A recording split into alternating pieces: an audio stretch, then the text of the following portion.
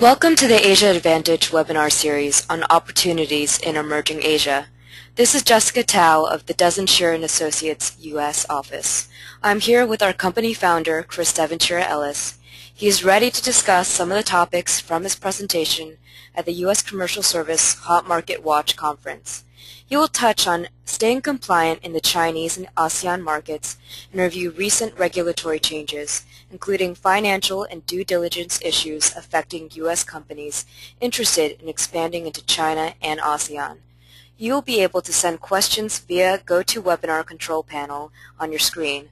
We'll be answering those questions at the end of our presentation. Chris, over to you.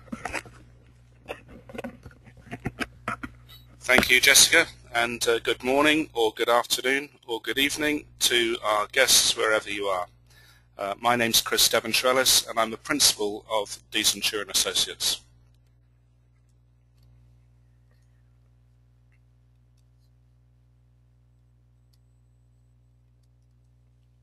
Uh, just briefly on our firm, we've been established since 1992. Uh, we have 12 offices in China, uh, one office in Hong Kong, five in India, two in Vietnam, one in Singapore, and we're speaking to you today from our liaison office in the United States. Our practice uh, is a hybrid firm. We provide legal services related to corporate establishment in these countries, due diligence, both legal and financial, uh, tax planning. Uh, we then service our clients once they've become established in these countries through ongoing tax filing, accounting, payroll processing and audit. Uh, we have in the region about 350 staff. We are members of a global alliance of uh, accountants, uh, the Leading Edge Alliance, uh, which is a, an international organization. The collective billing for the LEA last year was 2.7 billion US dollars. Our practice also owns the Asia Briefing Publishing House, which includes titles China Briefing, India Briefing, Vietnam Briefing, and we'll be referring to those during the course of this presentation. I will begin by concentrating on China, and there as we can see, uh, Tiananmen Gate. China today is changing, and it has changed significantly over the last 20 years. Um, the economy is currently out of balance, there has been an overdependence on export manufacturing and the Lewisian turning point is kicking in. What is the Lewisian turning point? Arthur Lewis was an Amer American economist who in 1954 derived an economic theory which is of relevance today and explains a lot of what has been happening in China. Uh, Lewis's theory dictates that if you had a large labour force and that government policies enabled that labour force to work, you would create wealth into society. If that society then reinvested that wealth, you would start to develop a sustainable society uh, and increasingly affluent. That is the point in which China has reached today. The turning point in its economy where it has become sustainably affluent and increasingly so. Twenty years ago, when I first established my practice, uh, the average age of a Chinese worker was 23.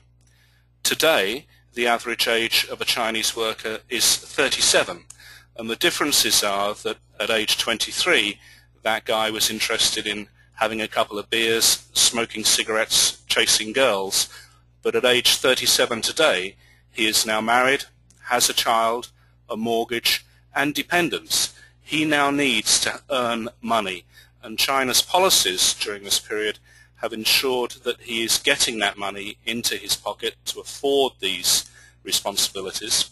And that is a consequence. This is one of the reasons why China's labor costs have been increasing, as have the mandatory welfare costs. So China 20 years ago did not have a middle class to speak of. It couldn't afford to buy overseas goods.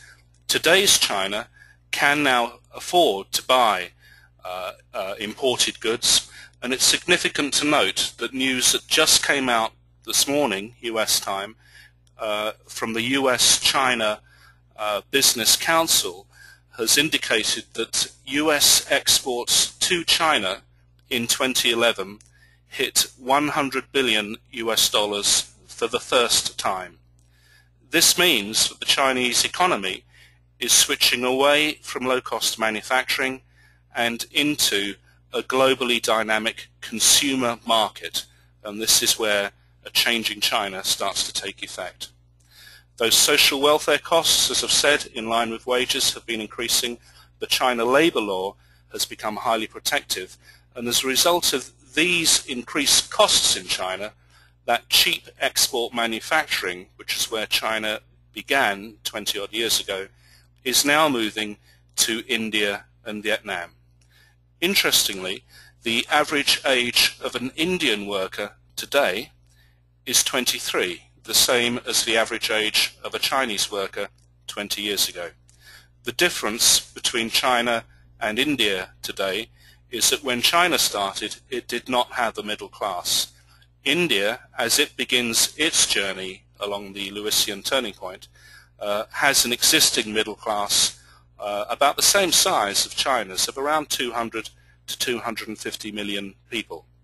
It's those markets which people now, international businesses, can now start to sell to. The difference between India and China is that the Chinese middle class is set to expand significantly and increase from about 250 million today to double that by 2020. The Indian middle class, by comparison, is likely to remain static. Back to China, uh, we are now seeing, as I've suggested, a recalibration to a consumer-driven economy. The middle class is growing, as I mentioned, and that middle class is now demanding better quality and choices of both products and services. It is increasingly positive for sales of products, and as I've mentioned, the US-China Business Council this morning released a report which is on the China Briefing website uh, that the US has reached $100 billion worth of exports to China for the very first time. Manufacturing in China, the cost dynamics have also changed.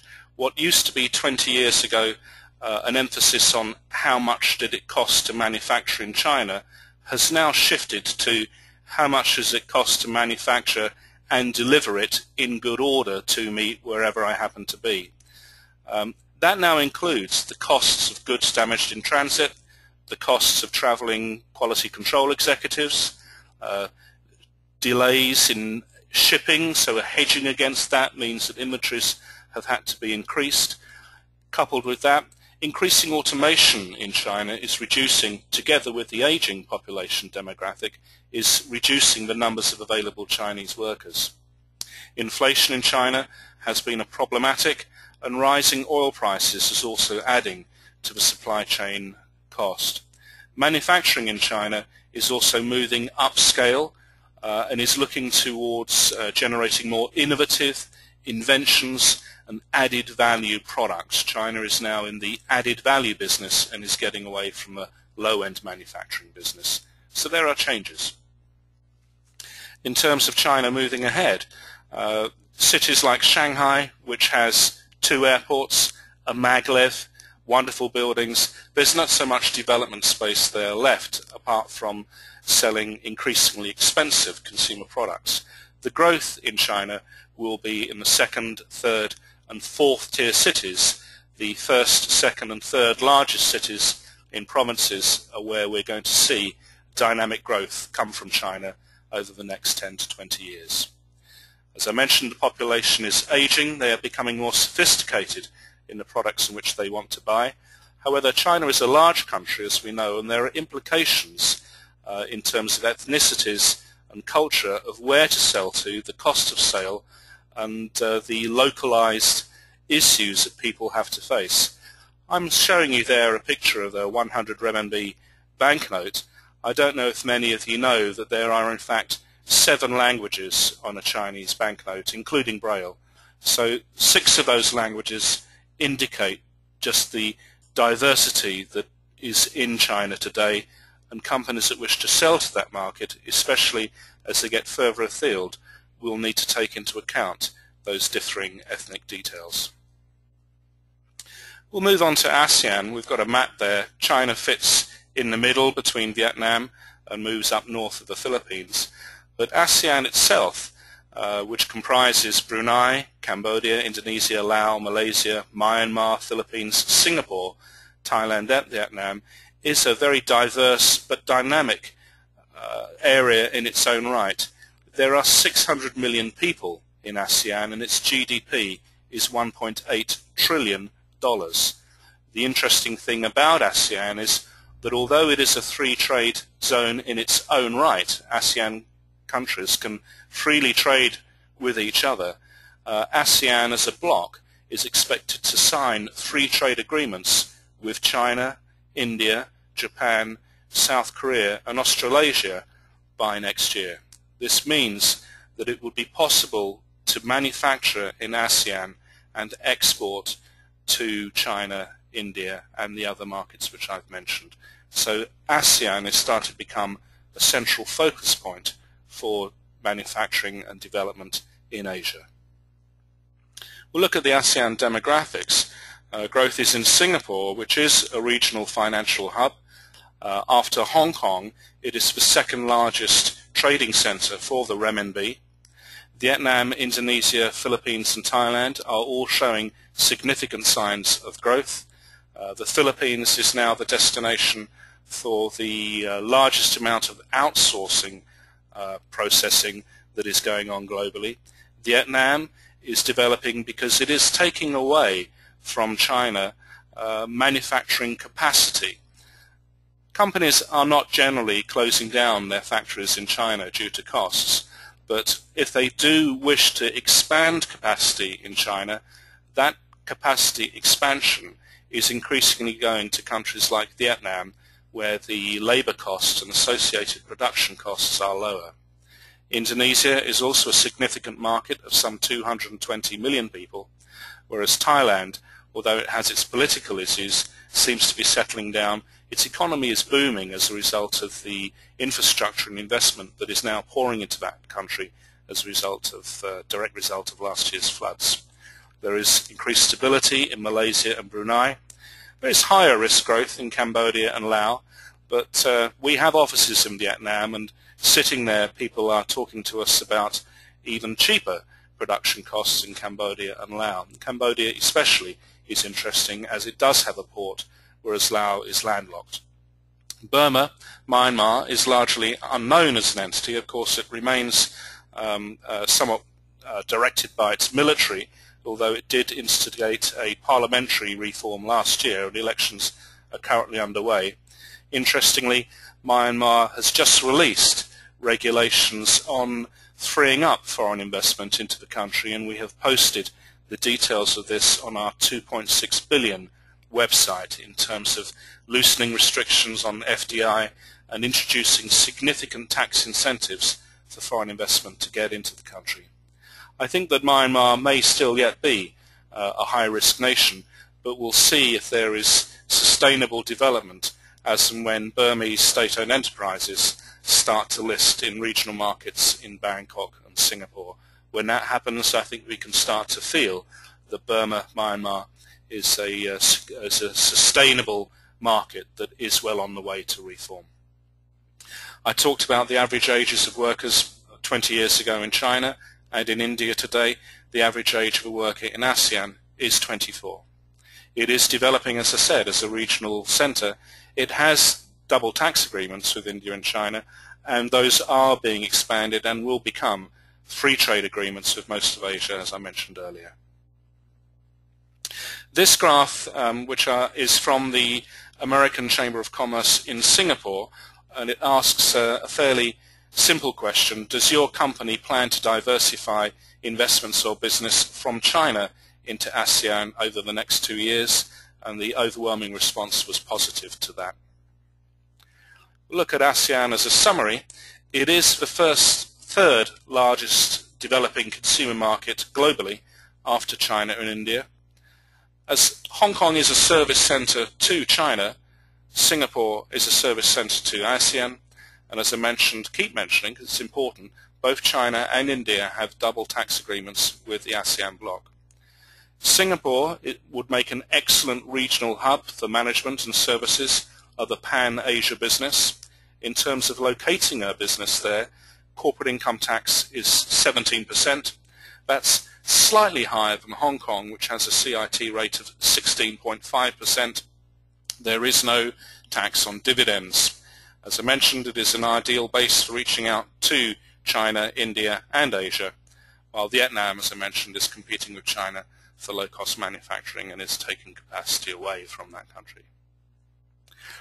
This uh, wonderful uh, picture uh, demonstrates modern contemporary India.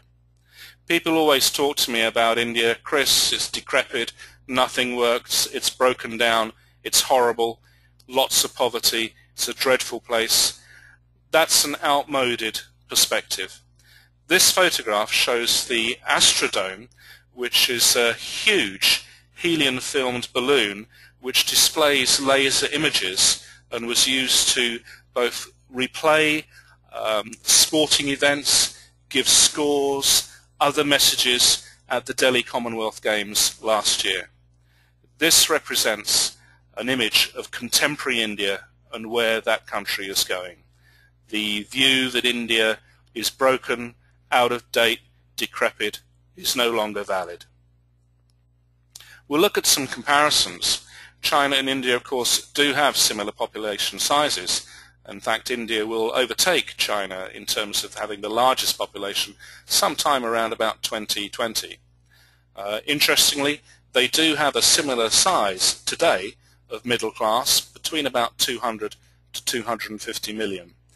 What I mean by that figure is that these are middle classes, these are middle class numbers that are middle class to Chinese and Indian standards. Of that 200 to 250 million, about 80 million, 80 to 90 million in each country will have middle class standards comparable to that of the United States. So some significant money there. However, India's middle class uh, has been wealthy for many, many years. This is old, traditional money, and their consumer behavior is somewhat different to the new middle class money that is in China. Indians tend to be far more conservative, uh, save their money, stash it away, whereas the Chinese with this new money tend to be more brash and flamboyant in showing their wealth. So in comparing the two consumer markets, there are behavioral differences. As I mentioned, due to the costs of manufacturing increasing in China, we are seeing low-cost manufacturing moving across to India, uh, also Vietnam and elsewhere in Southeast uh, Asia, but India is taking up some of that uh, manufacturing, low-cost manufacturing industry. The worker demographic, as I mentioned, is the same as China was 20 years ago, but that broken infrastructure, um, which is getting better, does exist in places, but that infrastructure is the opportunity. The Indian government uh, require an investment of $5 trillion over the next 10 years to upgrade their infrastructure and they are as a consequence inviting uh, foreign companies to participate in things called public-private partnerships whereby the Indian government will provide half the money, the foreign investor provides the other half. There are tremendous opportunities in India for getting involved with infrastructure product projects, in airport developments, roads, rail, other infrastructure, construction, and as we've all seen the construction India, the construction industry and buildings develop in China, that is now starting to happen in India. If you go to Mumbai, Chennai, or many other Indian cities, you will see those huge cranes dotted around the skyline, just as it used to be the case in China up to 10, 5 years ago. Foreign direct reform in India is underway. Markets are being liberalized. It is, of course, a democracy, and a very noisy democracy. There's a lot of debate in India in a way which does not occur in China as a one-party state, but markets are being liberalized. A great example is the liberalization of the single-brand retail market in India, which for years had been off limits to foreign investors. That was liberalized fully to 100% foreign investment, as an example, last December, which is good news for brands such as Hermes, Gucci, Starbucks, and other companies that are in single brand retail. Multi-brand retail remains a restricted industry. You need to have uh, an Indian partner for that, which means that companies such as Walmart and Carrefour, for example, uh, still have to deal with a local partner. But for single brands, India is very much a dynamic market. The other thing that's interesting about India is that although the tax regime is currently on the high side, significant tax reforms to reduce taxes in India are on the table. As I mentioned, it's a very noisy democracy and there are various structural issues about getting this passed into the legislature. But um, uh, the basic issues are that uh, we expect to see corporate income tax significantly reduce. It's currently 45% and the, uh, the bill on the table is to reduce that to 30% and individual income tax is also set to significantly reduce. When those tax reforms are passed, um, which may be a two to three year time frame, but when they are passed, that will have a significant impact on the attractiveness of India as a foreign direct investment destination. Made in China, those labels we're so familiar with nowadays will indeed shift to being made in India. And as I mentioned, India has a double tax agreement with ASEAN. Just to summarize regional comparisons, I already mentioned the Hong Kong, China and Singapore ASEAN connection. Uh, Singapore is a great base for taking advantage of the ASEAN region and the DTA has with China and India and makes an excellent Asian managerial services and marketing base for the rest of Asia. Vietnam, as I mentioned, is taking manufacturing capacity away from China. Both India and China have huge, dynamic and wealthy middle-class consumer markets, though China's is expected to expand faster than India's over the next couple of decades. India and Thailand are also developing consumer markets, whereas Cambodia and Bangladesh, I know it's not part of ASEAN, but Bangladesh stuck between India and China is also interesting for further reducing costs, and both are looking very interesting, especially for agriculture and the textiles industries in particular. We'll have a look at the uh, brief look at the legalities here. Um, interestingly, uh, both China, India, and Vietnam, from the legal administrative perspective, share a common root. China, of course, and Vietnam are both communist countries, and they took a lot of their legal uh, administrative uh, designs and structures from uh, the Soviet Union. What is little known is that India, after independence from Britain, actually did the same thing. They went to the Soviet Union for a lot of administrative structural advice and took those. So uh, the impact, the the up, the end result being that uh, if you're familiar with the corporate structural procedure, the administration process in China, then Vietnam and India are both similar. In Vietnam, uh, which is something which we don't now have in China, although we used to, it is possible to have a BCC, a business cooperation contract, um, which is uh, applicable to projects, which means that if you have a contract for a particular project, you can enter the country with that and then exit when the project comes to through, fruition. Uh, that is not something which is now available in China. Beyond that, Vietnamese uh, representative offices are very similar in structure to those of China. You can establish a presence. You're not allowed to invoice, but it provides you with a great marketing or liaison uh, facility in Vietnam to look at other opportunities or indeed indulge in other activities such as quality control and so on and so forth. From then on, foreign-owned enterprises, um, these can be joint stock, limited liability companies, or partnerships and the profits are dependent upon the equity division. We also have uh, joint ventures, a full joint venture, similar to China's joint ventures, the cooperative JVs, again in which profit is dependent upon investment. So to summarize, if you have a contract uh, project in Vietnam, you would use a BCC. If you're looking just to do market research or liaison facilities or QC, then a representative office would be suitable. You can have a foreign-owned enterprise, the Vietnamese equivalent of a WFOE in China. Uh, that can be 100% foreign-owned, or it can also, interestingly, uh, incorporate a Vietnamese partner. Then you have the full-blown joint ventures, uh, which may be pertinent to have a Vietnamese partner that perhaps knows the market better or in certain restricted industries is a mandatory requirement. Not dissimilar to China then. India and uh, China, uh, again, India allows project offices, so again, related to contracts, you can go in, do something, exit once the contract is completed. Uh, liaison offices are the Indian version of representative offices, and then we have limited liability companies.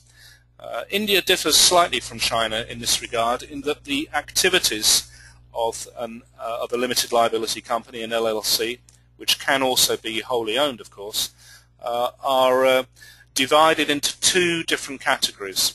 Those that require Reserve Bank of India approval and those that do not the RBI approval process, which tends to be for higher value investments or more strategic investments, uh, is uh, relatively uh, straightforward, but it does take time. Um, if you do not require RBI approval, then the procedure to get uh, business license in India is quick and relatively straightforward.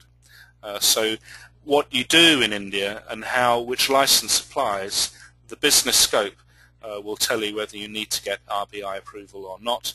We do have details of which business activities require the processes to go through if you do and which business processes do not. Generally speaking, as a rule of thumb, most standard business operations in India will not require RBI approval.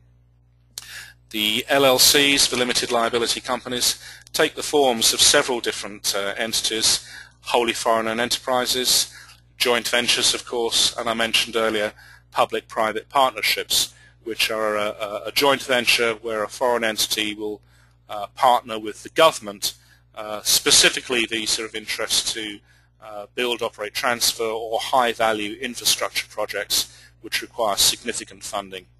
PPPs are useful because the government will provide up to half of the investment needed, but will also make uh, uh, has a structure in place to allow the foreign partner to borrow money from Indian banks as part of a percentage of its investment into PPPs.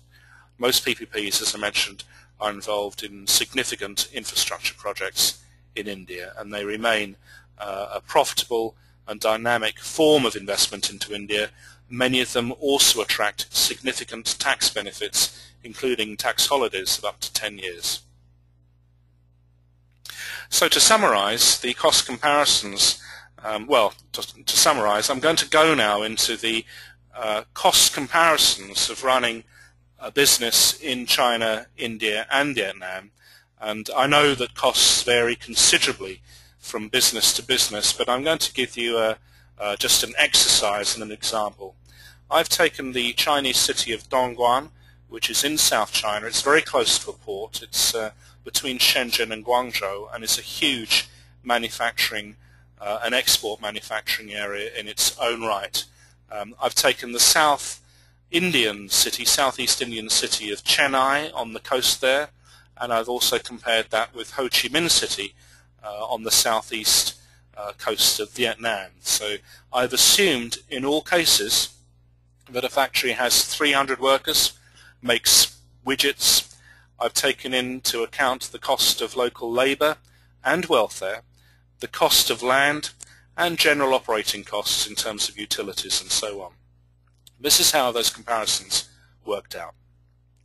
Dongguan, uh, you can see 300 workers. I've covered that out, the average wages, the mandatory welfare, the factory rental, and the salary welfare, uh, salary welfare and rent uh, to run that factory, the operating costs annually would come out at about 2.6 million US dollars. So that's how much it would cost on average to run that factory in Dongguan. I've also made a note at the bottom because some people may want to terminate their factory. There's been a, uh, a general consensus that getting out of China due to employee termination costs would be an expensive operation. It's not necessarily so. I've looked at the termination costs and how they would impact. To terminate those 300 workers would cost uh, just over 600,000 US dollars. So just to put that in there.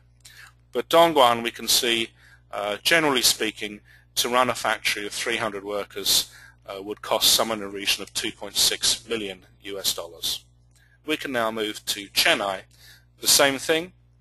I've broken it down into the costs for same factory size, uh, but to compare, the annual costs of running that Chennai business come out at about 350,000 US dollars, which is seven times less expensive than the Dongguan operation.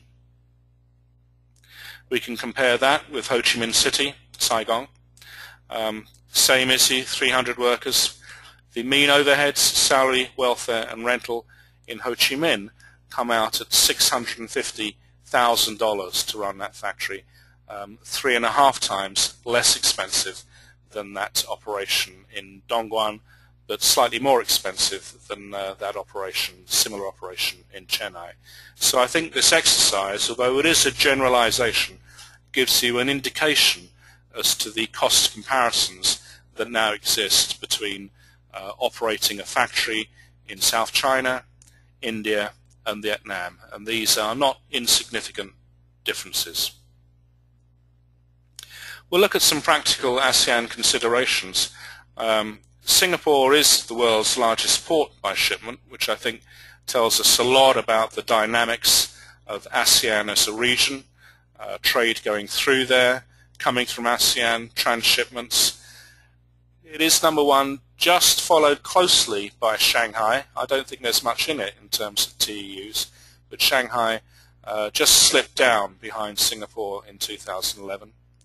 The ASEAN supply chain, of what, which a lot has been written, is not to Chinese standards, but it is improving, and uh, we're seeing evidence of that um, in terms of our clients at Dezan Shira. Uh, we've been in China for 20 years. Um, businesses still want to invest there, and our practice as a result of that grew by 25% last year, uh, an excellent performance we're very proud of. But by comparison, uh, those same manufacturing businesses, clients, coming into India, our India business grew last year by 62%. So we're seeing a significant increase in interest and investment into India, and as a result of that, infrastructure costs, not just in India, but also Vietnam and elsewhere, are improving. Although it's fair to say that it does, uh, it does, it will still take some time to get those up to Chinese standards. Land costs, of course, are lower across ASEAN and India, but ASEAN does have uh, that worker demographic dividend, that young worker in ASEAN age 23 comparable to India, ASEAN at 24, comparable to India at 23, and China's costs at 37. So we can see where the cost differences are going to be and where that low-cost manufacturing uh, dividend is going to see uh, manufacturing start to shift west to Southeast Asia. There's been a lot of talk about human rights issues, um, both in China, ASEAN and India. Um, we've been doing business for India now in six years and I see a lot of press about child labour. Uh, I don't see this in the corporate environment. I'm sure that exists with um, uh, very low overhead running local businesses. I am absolutely certain it exists and it's something which needs to be stamped out. Education will play a, a role. But in corporate India, and indeed in corporate ASEAN and China, I do not see China child labour as uh, as an issue. And human rights uh, throughout the region is improving. We're seeing evidence of that in what is happening now in uh, Burma. The scope of double tax agreements is increasing. There are now more tax flexibilities arising throughout the region. It's something that American companies in particular should be aware of.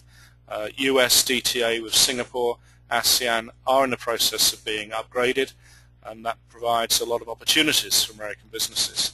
US companies should be talking with their accountants or indeed ourselves about the impact of American DTA agreements with uh, countries throughout the region. Those consumer markets are opening up as a result of the free trade agreements which will take effect from 2013 and ASEAN offers both consumer sales for international companies, especially in China, uh, India, and very definitely export manufacturing facilities. A suggested regional structure for China, ASEAN and India, if companies were to move into a regional play there, would be to domicile that head office uh, for Asia in Singapore to look after the management, other services. The tax rate is, uh, is very good. Looking at manufacturing in ASEAN to export throughout ASEAN to China and India. I mentioned the DTA in the free trade agreement several times with subsidiary factories in China and India to service those local markets. That brings my presentation to a close. I'll just uh, briefly introduce you to other support services that we have. Uh, our Asia Briefing subsidiary at Dezan Shira produces China Briefing, India Briefing, Vietnam Briefing. We're also in Russia and Mongolia. 2.6 billion down at the bottom there that title refers to the combined populations of China and India and covers emerging Asia. These titles are all uh, free access online. We provide updated daily commentary, regulatory, legal and tax updates on all of these. We also provide a series of uh, regular magazines, books and other intelligence. If you go to any of these websites, there is a three weekly e-subscription at the top of those websites. You click on that and we will send you our complimentary weekly update on what is going on throughout the region. Our other supporting materials, especially for what we've been discussing today, China briefing, India briefing, Vietnam briefing, there they all are, China dash briefing, Vietnam dash briefing, India dash briefing. Plenty of material there for you to be uh, looking at. Again, a lot of the online content is complementary to the magazines and books, so please find uh, time to have a look at those if this is uh, uh, something that you're interested in. It is a resource which we provide to try and help international companies understand and develop a presence in these markets. Our firm, uh, 12 offices in China, two in Vietnam, five in India, one in Singapore. Um, I'm speaking to you today from our liaison office in Charlotte in the United States. There's my contact details, chris at dezshira.com. Please take time to check out our website. I will now pass you back to Jessica Toe to summarize, and if you have questions, I'll now be able to take those. Thank you. So thank you again for joining us. We'll now be taking questions, so please give me one second as I set the question portion up.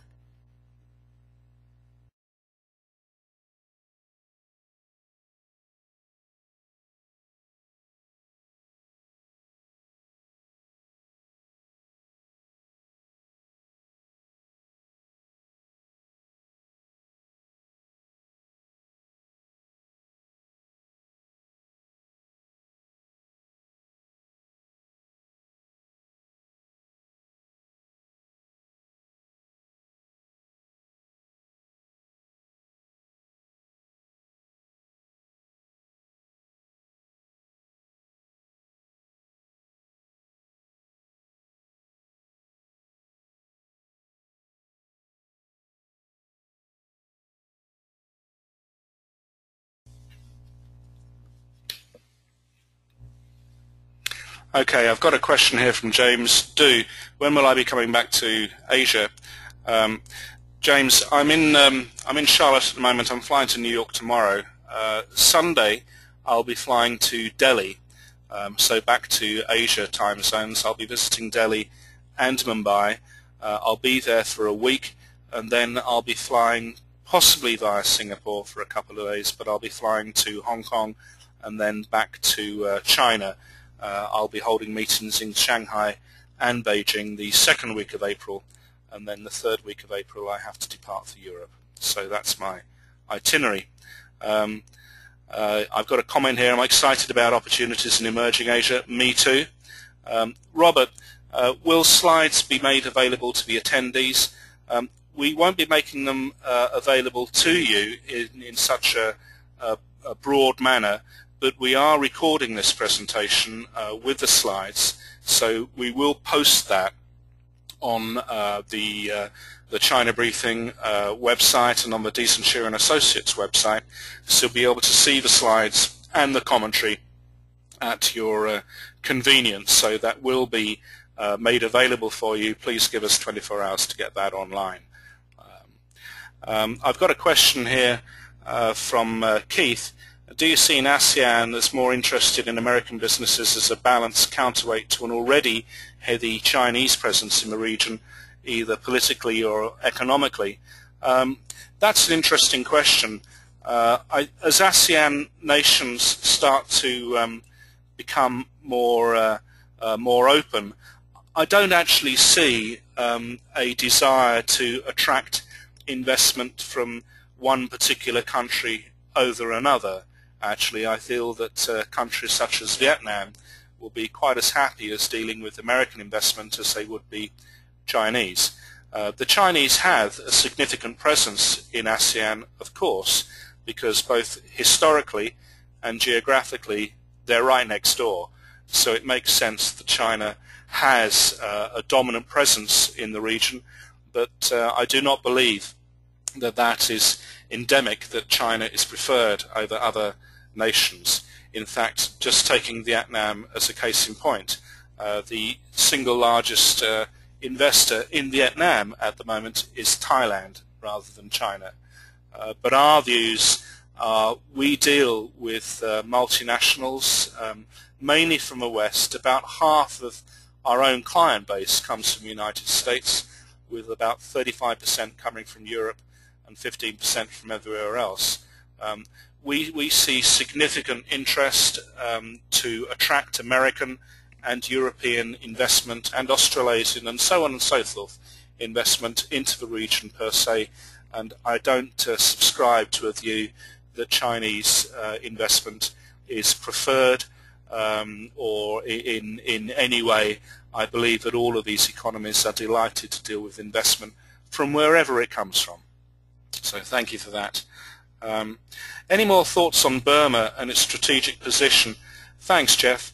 Um, yeah, Burma, of course, could be a significant market, um, massive in terms of its population. I think the population there is about uh, 80 to 90 uh, million people. Um, it's really been stagnant since the end of the Second World War for various reasons. Uh, so its its infrastructure uh, is extremely archaic, uh, and there's a lot that would need to be done to develop that. It is early days. Um, got to start somewhere. It seems uh, as if the military junta is loosening their grip on the country, and that it will slowly move into a more democratic and a parliamentarian system. Uh, elections are currently underway, as you are well aware, uh, and I think we'll have to just wait and see how serious that move to uh, a more democratic Burma uh, is. Coupled with that, however, the Burmese government did uh, um, uh, produce a series of um, regulations which have yet to be enacted but are expected to be passed within the next week uh, or so, which adds significant tax incentives to foreign investment into the country, including tax breaks, uh, reduction of uh, income tax rates. Uh, they're looking at completely uh, re revising uh, their banking and financial structures. So these are all interesting developments. I think it's something to keep an eye on. Uh, on our 2.6 billion website, uh, we actually have just identified uh, all the different regulatory changes which are happening in Burma. I think it's the top article on that site today. So if you have a look at that, I think that article defines what they intend to do. It is early days, and I personally think that a trigger that they're going down this path to reform and that they're serious about it will be when we start to see some of the larger Burmese state-owned enterprises uh, get listed in either the Bangkok or Singapore stock exchanges. I think that's a trigger uh, movement which if happens would indicate that the Burmese government are very serious about reform into the country. So I would wait for that. Um, so thanks, Jeff.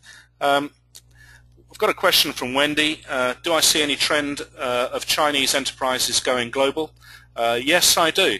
Um, I've been uh, on a lecturing tour in the United States for the last couple of weeks. I've been to several cities and um, uh, our partner firms uh, across the US are all saying to me that they have now established a, uh, a client, a Chinese client base uh, in their respective cities in the US.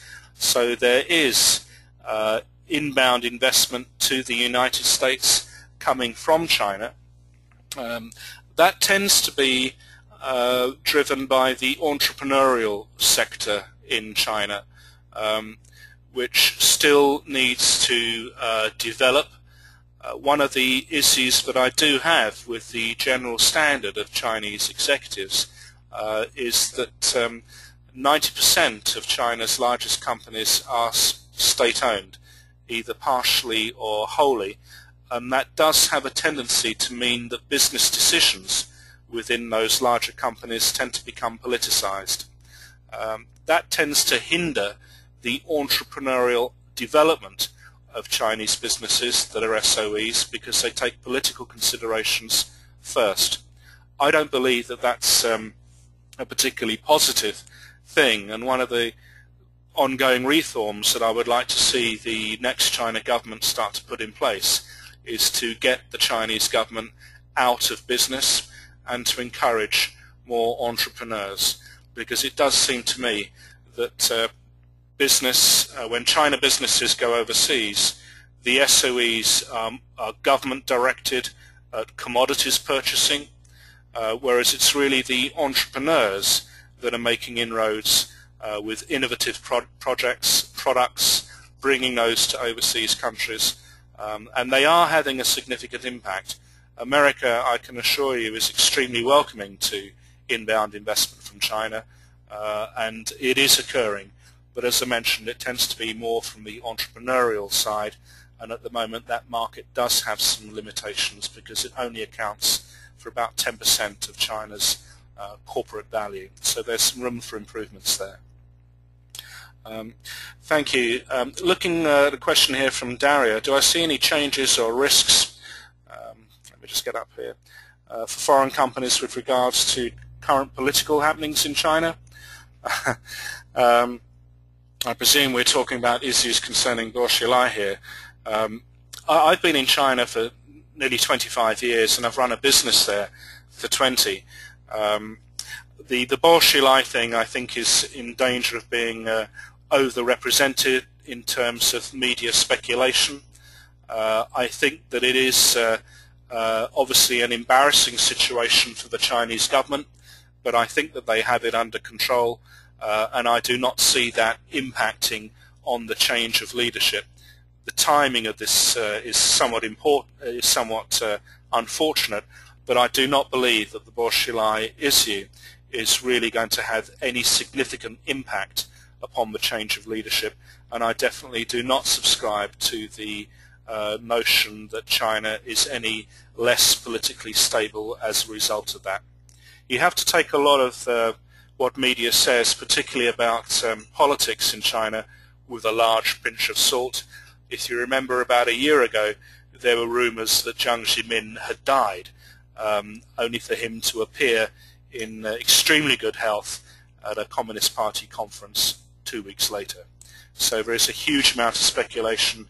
I take it all with a pinch of salt, and uh, I do believe that the Chinese political system is robust and does not represent a risk to foreign investors. So thank you for that. Um, we're looking at uh, taking look north of uh, ASEAN. A question here from Rick. What do we foresee for Mongolia with its rapidly expanding GDP? Do I see a growing middle class there? Will there be an urbanization move amongst the Mongolian people with fixed housing as opposed to yurts? Yeah, thanks, Rick. Um, I'm actually an advisor to the Mongolian government, and I was in Ulaanbaatar two weeks ago, the, uh, the Mongolian Economic Forum, uh, I can assure you that the weather in Charlotte in North Carolina is much better than it was in Ulaanbaatar where it was minus 30. Um, good question. The um, Mongolia's GDP is uh, rapidly developing. I think it's set to hit about 37% this year, which makes it the fastest uh, growing country in the world. There are problems with that. Um, as a result of the GDP explosion, uh, the uh, Mongolian currency, the tugrik, is also um, the, far, the world's fastest appreciating currency. Um, and that has significant implications as concerns inflation rates, which are going through the roof. Uh, the Mongolian economy generally is really a mining play. Uh, so if there are companies there which are in the mining space, then Mongolia is very definitely somewhere to look at. But it's very early days and it's all about the big players. So they need to sort out their contracts with government first. Um, Mongolia, for those of you that are interested, has the world's largest reserves of coal, uh, silver, gold, uranium, and a whole host of rare earths and other uh, natural commodities.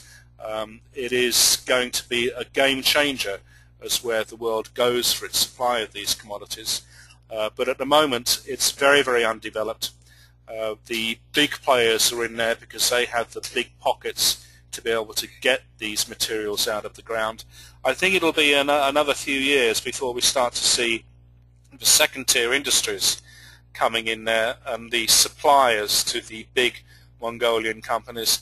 I think you're two to three years off that at the moment, but for sure um, second-tier industries supporting the mining industry in Mongolia are going to be needing to have a look at that market now with a view to market entry in two to three years' time.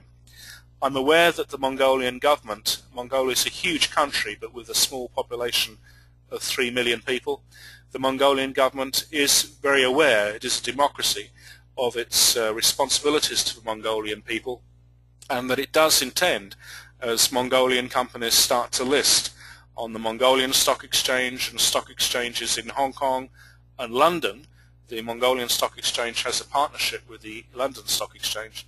As Mongolian companies start to list on these markets, that the Mongolian government is hiving off a percentage of that listing to give shares in those companies free to Mongolian citizens. Quite how that is going to be implemented remains to be worked out, but the implications are that Mongolian nationals will be sharing in Mongolia's wealth and of course that is going to have significant impact on the livelihoods of Mongolians. There are many Mongolians that prefer the nomadic life and I can't say I blame them. It is an incredibly beautiful country. Uh, but it's also true to say that with not many Mongolians, I think you'll start to see uh, a, a, very wealthy Mongolian class being created. There's only three million. Um, and uh, the country start to import large amounts of uh, labor, uh, perhaps uh, some from China, but increasingly from the rest of Asia. So significant developments in, in Mongolia. Um, okay, I think that's all the questions we've got. I'll just talk to you for another two minutes and see if any others pop up. But otherwise, I hope that this um, question, this uh, session has been useful to you. We will be putting it up on the China Briefing and Dezan Shira websites, both in terms of the slides and my commentary. And uh, uh, please, uh, uh, it'll be there. And if you've got any other uh, then please email me, chris at dezshira.com. ladies and gentlemen, thank you very much for joining us. Um, I'll let you into a secret. This has been our first ever webinar, so I hope that we did good, um, but I hope that it's not going to be our last. Thank you very much for spending your time in listening to me talk. Thank you.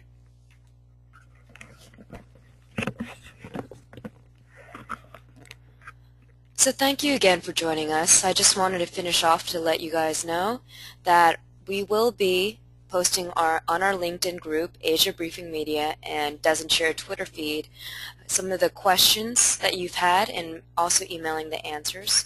Um, visit our website at www.dezshira.com. That's D-E-Z-S-H-I-R-A dot com.